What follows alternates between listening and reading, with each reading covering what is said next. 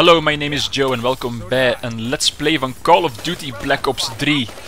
Een van de meest lang verwachte games van dit najaar. En ik vraag mij ook eigenlijk af waarom jullie in godsnaam nu zitten te kijken naar deze video. Want we zijn er iets later mee, omdat ons exemplaar later is toegekomen. Maar uh, ja, miljoenen anderen spelen het en jullie zullen het eigenlijk ook aan het moeten uh, doen zijn. Maar deze is dus toch eentje dan voor de geschiedenisboeken. Voor de archieven, zeg maar kwestie dat we die toch ook besproken hebben.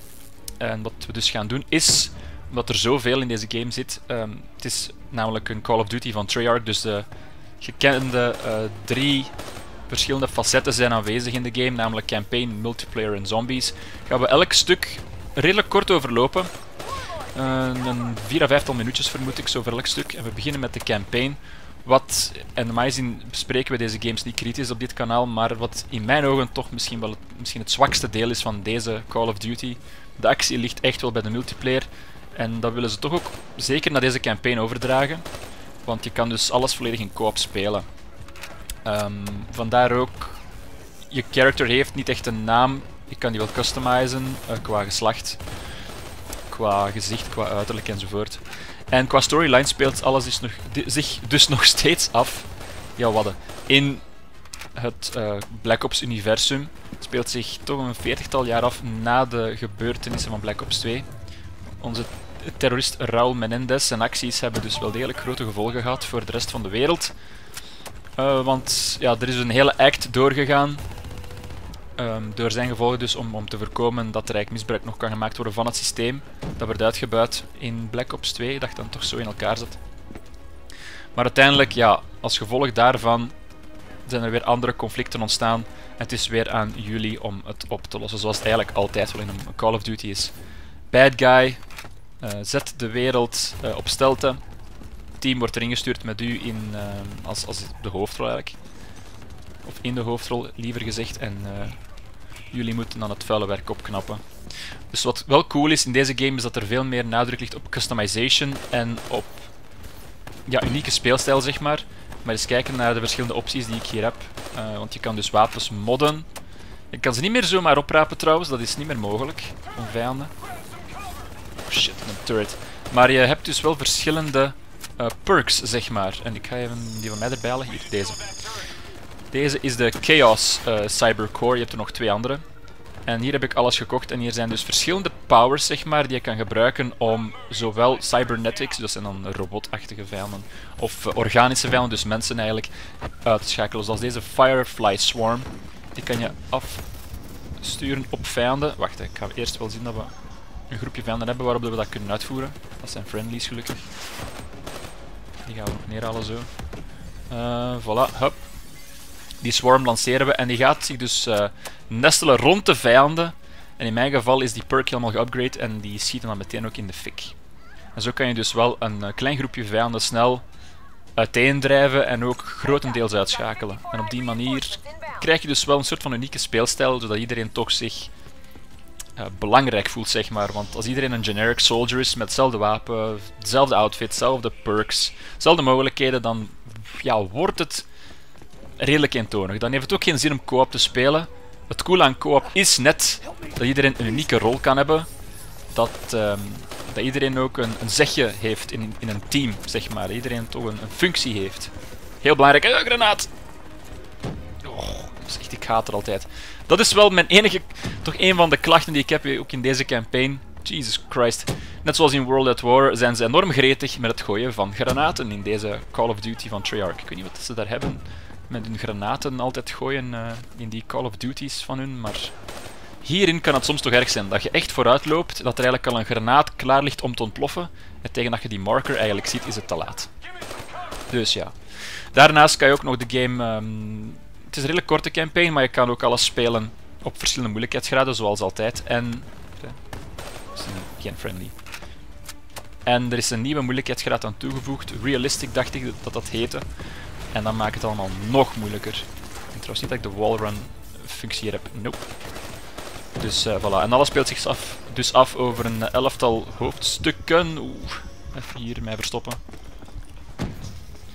En ja, dat is dus het verhaal eigenlijk van Black Ops 3. En dat is toch wel, lijkt mij, de zwakste mode, modus van de drie.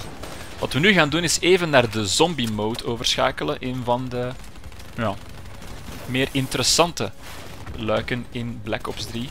Daar duiken we nu meteen in. Ziezo, we zitten in de zombie mode. Zombies. En er is uh, één mode, of één map zeg maar. En dat is dus Shadows of Evil. Wat er natuurlijk weer zo uh, bekend is of gekend is aan deze Call of Duty Black Ops Zombies mode, is dat we dus weer uh, ja, de rol kunnen eigenlijk opnemen van vier verschillende personages. En dat zijn dan bekende acteurs. Waaronder Jeff Goldblum, die speelde een goochelaar. En Ron Perlman, die speelde een bokser. En hier hebben we Ron Perlman, hier met zijn petje op. Hier. En uh, onze Jeff, die loopt ergens anders. Ik weet totaal niet waar dat die zit. principe, uh, jullie kennen waarschijnlijk zombies, maar voor wie het nog nooit zou gespeeld hebben, stel je voor, het is mogelijk. Het is heel simpel. Je speelt allemaal in een map eigenlijk. Je probeert zoveel mogelijk rondes te overleven. En je krijgt ook punten door oftewel zombies af te maken of door uh, barrières bijvoorbeeld te herstellen. Dat is toch wel redelijk belangrijk dat dat af en toe gebeurt. Soms laten zombies ook uh, power-ups droppen zoals maximum ammo, double points. Hier, wat is dit? Ik kan het dan niet oppakken. Oh, ik heb hem wel opgepakt, oké.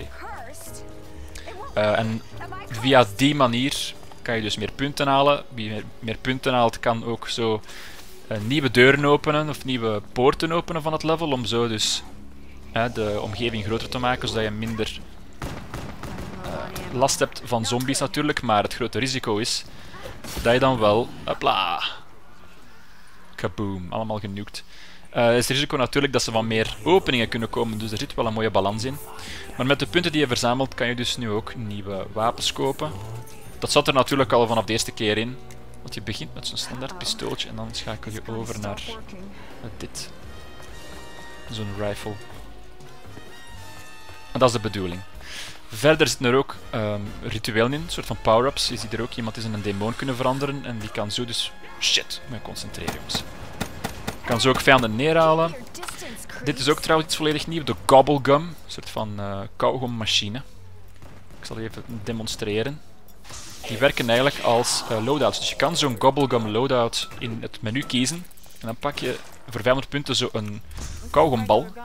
En bij mij is dat nu toevallig, een van mijn vijf is active for 20 minutes longer bleed out time. Dus als ik zou echt neergehaald worden, dan uh, ga ik langer uh, in bleed out time zitten, zeg maar, voordat ik echt dood ben. Dus mijn andere teamleden hebben meer tijd om mij te komen healen dan.